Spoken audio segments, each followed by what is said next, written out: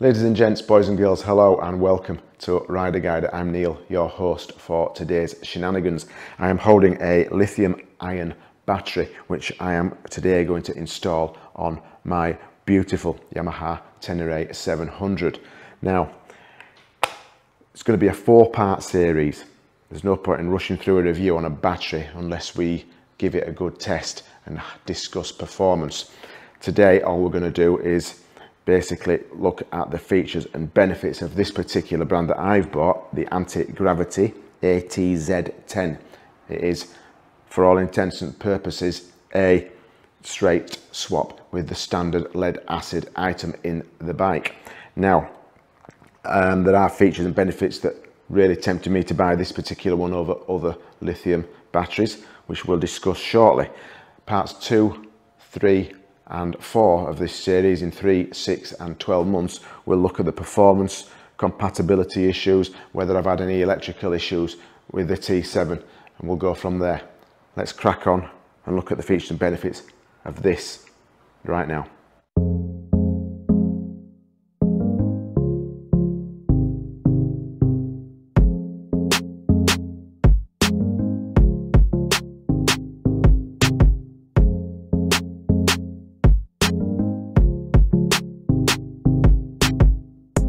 Let's have a look initially at the weight because that's what people seem to be interested in and then I'm going to put that little thing to bed because it means zilch nothing.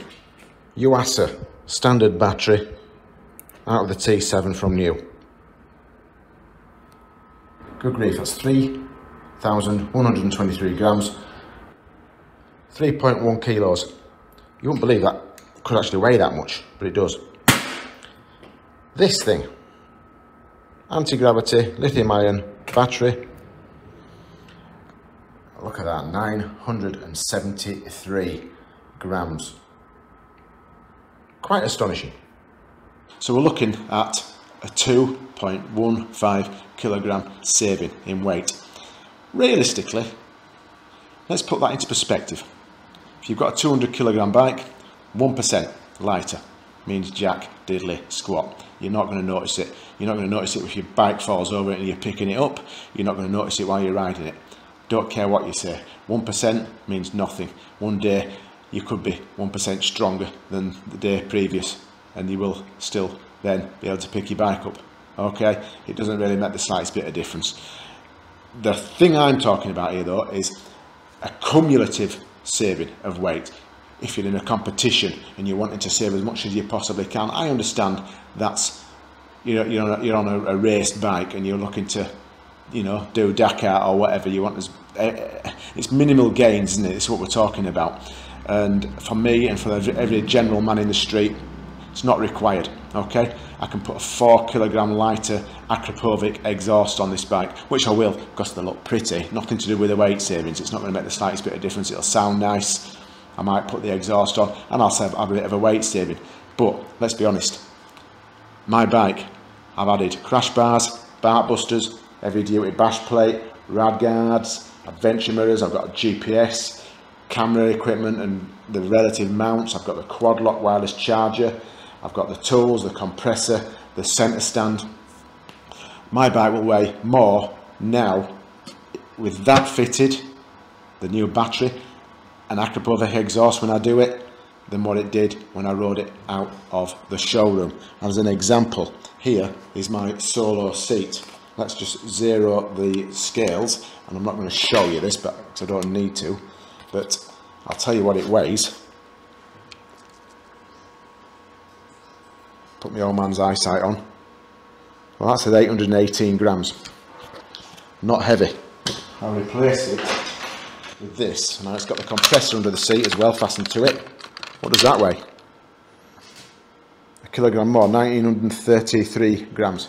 So that's already, despite losing two kilograms there, I've added a kilo on straight away just by adding that. So I've cancelled it out, the weight's a little bit lower down, but it doesn't mean jack. So realistically, the weight saving is such a minimal thing.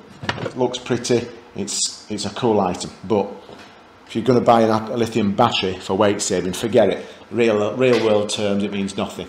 Um, it's not worth it if you just want to save weight, unless you look at taking everything else off your bike and you're just trying your very best to make the bike as light as possible because you're riding through a desert, I understand that. But for every man, man in the street and a woman, don't bother if it's just the weight. And the reason I've bought this is, well, there's a couple of reasons.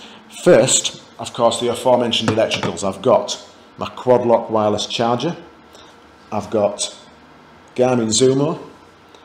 I've got the Innovv K3 linked to my battery, plus a few other things. I've also got the, um, I'll be doing this today. I'll be, I've got a new um, battery charger because of course it's got to be specific to lithium ion. So I'll be fastening these. And what I'm doing here is adding more and more things to what would have been just two terminals. This anti-gravity battery, check that out. We've got four terminals, two positive, two negative. So it's given me the option to add more things or make a neater job and deal with my OCD than having everything piggybacking off the two terminals. That is a massive plus for somebody like me who likes my wiring nice and neat, etc. Having double terminals on that battery is gold. Giving me a lot more space to spread things out and I make sure I get better connections for my electricals. We all do it. We all add things to our bikes. That's what I'm doing it for. The other thing, not as important, um, is the cranking uh, ability for the battery to start your bike. It's not as important in a warm climate. I'm in Australia, so it's not one of the reasons why I bought the bike specifically. It's nice to have that extra performance. We do get cold winters, but I can't really see it being a major issue to me going forward. Um, finally, the main reason for me is having all these extra little electrical items on the bike. There is um, what is termed as a parasitic drain, I think it's the, the terminology for it is, on the batteries um, I have had on occasion because I've got the quad lock, I've got the GPS, I've got various things attached to the battery, even when they're powered down, they will drain your battery. If your bike's parked up for any length of time, you've got a risk, and it's happened maybe two or three times since I bought the T7, that I've ended up without a battery, uh, or with not enough power to start my bike. I've gone click and nothing. It's so frustrating, especially on something where it happens where you're, you're no, nowhere near the top of a hill. It's hard to jump start, bump off a 700cc twin cylinder 210 220 kilogram bike on a hot day. You're stuck. You're ringing the RAA or the AA or the RAC wherever you are in the world. And what can you do? With the anti-gravity battery one of the main features that I liked was if I do end up with a parasitic drain and I end up with a low battery, this overrides it. It's got called it's got something called restart and it will detect when it gets to a certain level of power within the battery structure it will cut off. It will stop any parasitic drain period.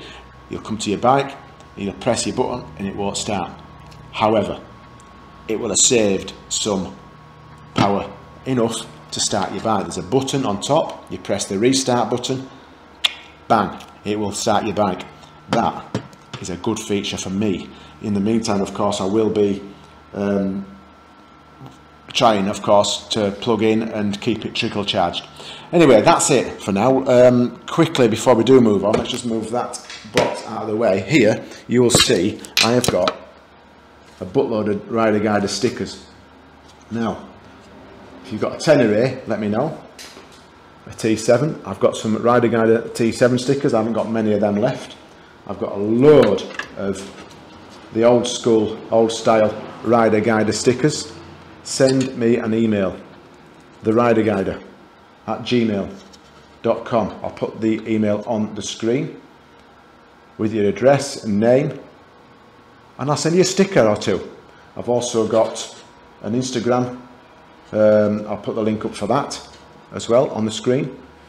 If you don't want to email me, just send me a instant message or a PM as we call it, and we will, of course, get your address that way, and I'll send you some stickers. That would be awesome.